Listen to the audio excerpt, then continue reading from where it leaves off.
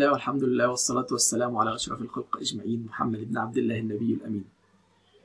أهلا وسهلا بكم في حلقة جديدة من برنامج لعله خير. بإذن الله تعالى سنتحدث اليوم عن قاعدة مهمة من القواعد العظيمة من القواعد القرآنية المحكمة التي يتبين لنا منها معنى عظيم. ألا وهو الانقياد والإذعان لرب العالمين لأوامره ونواهيه.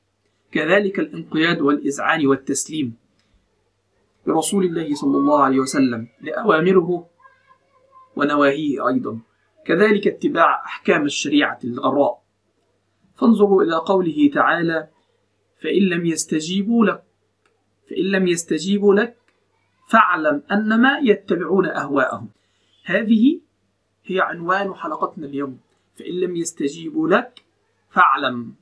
أنما يتبعون أهواءهم يا رسول الله إن لم يتبعوا سنتك ويتخذوا بشريعتك وبأحكام الشريعة ويطبقونها في حياتهم اعلم أنما يتبعون أهواءهم. جاءت هذه الآية الكريمة في سورة القصص في سياق جدال مع المشركين. يريدون أن يصدوا النبي صلى الله عليه وسلم وأن يرموه بافتراءات. يتفننون في في أساليب العناد مع الشريعة ويريدون أن يردوا الشريعة. فتأملوا معي قوله تعالى ولما جاءهم الحق من عندنا لما جالهم البينات لما جالهم الحق لما ربنا بعت لهم البرهان والبيان والنور الإلهي ماذا قالوا؟ قالوا لولا أوتي مثل ما أوتي موسى. يتحدثون عن النبي صلى الله عليه وسلم. لو جه أو جن زي ما جه موسى. قالوا لولا أوتي مثل ما أوتي موسى. عاوزين النبي صلى الله عليه وسلم كان جالهم بنفس اللي جه بيه سيدنا موسى من المعجزات والدلائل. فرد عليهم رب العالمين. أولم يكفروا بما أوتي موسى؟ هو أنتم مش كفرتوا باللي موسى جاء به. يعني إحنا بعتنا لكم موسى؟ يدعوكم إلى رب العالمين وإلى التوحيد. ببعض الدلائل والمعجزات الذي اختص بها الله سبحانه وتعالى سيدنا موسى. وبعض الصحف. لعلكم تهتدون. فكفرتم. ولما جاءكم محمد بن عبد الله صلى الله عليه وسلم بطريقة أخرى تقولون لو أنه أتى بما آتى بما أتى به موسى عليه السلام. فرد عليهم القرآن الكريم ردا صريحا. أولم تكفروا بما أوتي موسى؟ ولم تكفروا بما أوتي موسى من قبل؟ قالوا سحران تظاهرا. ردكم كان ساعتها ساعة ما سيدنا موسى جاء ده ساحر وغيرها من الأقوال أنتم أدرى بها. وقالوا إنا بكل كافرين. أنتم مش هتؤمنوا؟ دي حجج. كلام بتقولوه حسب هواكم. عاوزين نبرر لأي حاجة. وخلاص. لما جاءنا موسى قالوا سحران. تظاهرا. ولما جالكم سيدنا محمد بمعجزات أخرى وبكتاب الله ووحي من عند رب العالمين. لا إحنا عاوزينه يا ريته كان جه زي ما جه موسى. طب ما أنتم كفرتوا بما أوتي موسى. وفي النهاية قالوا إنا بكل كافرون. قل فأتوا بكتاب من عند الله هو أهدى منه ما اتبعه إن كنتم صادقين. طب خلاص أنتم مكذبيني. هاتوا أنتوا كتاب أو هاتوا لنا آية أهدى نتبعها. إن كنتم صادقين. فإن لم يستجيبوا انظروا بقى. فإن لم يستجيبوا لك فاعلم. أي يعلم يا محمد. أنما يتبعون أهواءهم. ومن أضل.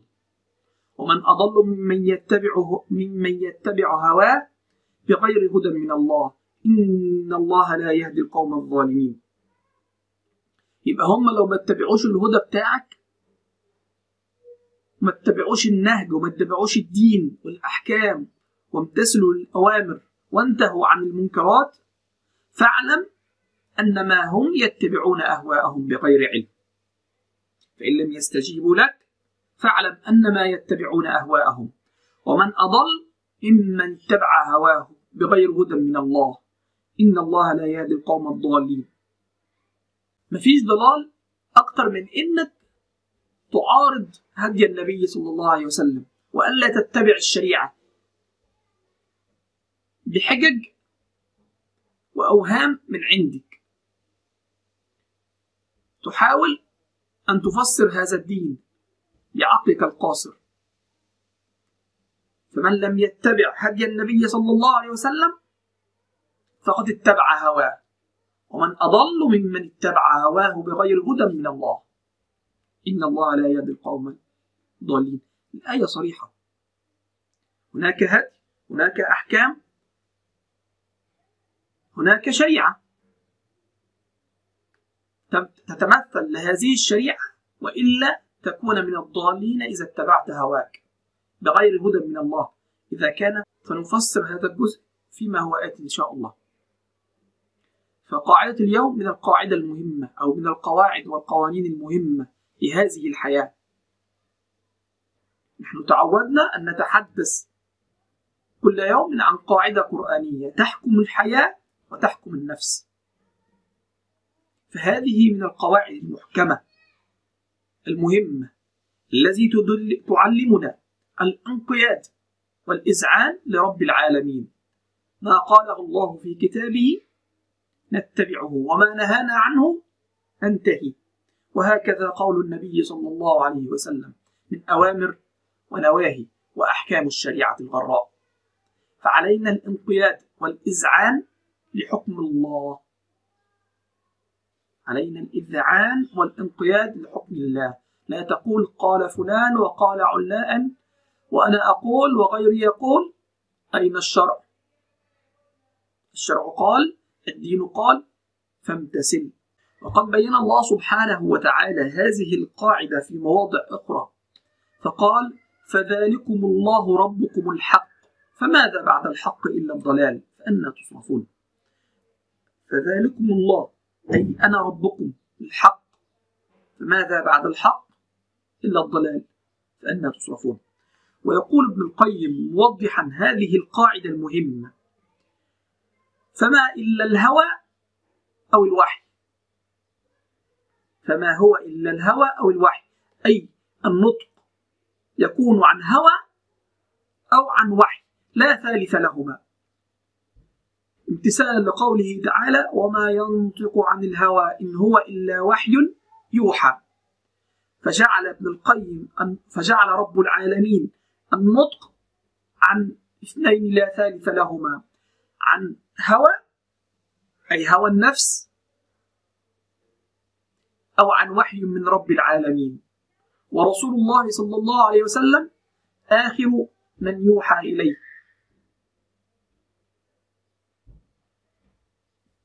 فماذا تريدون؟ تريدون اتباع النبي أم تريدون اتباع هواكم؟ وأردت أن أتحدث عن هذه القاعدة لأن الأمر أصبح في زمننا هذا ملح للتحدث عن هذه القاعدة القرآنية العظيمة. إذ أصبحنا في حاضرنا كل يسير حسب هواه. فتنوعت طرق تعاملنا مع النصوص الشرعية.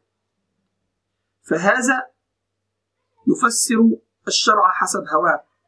وهذا يروج لمنهجه.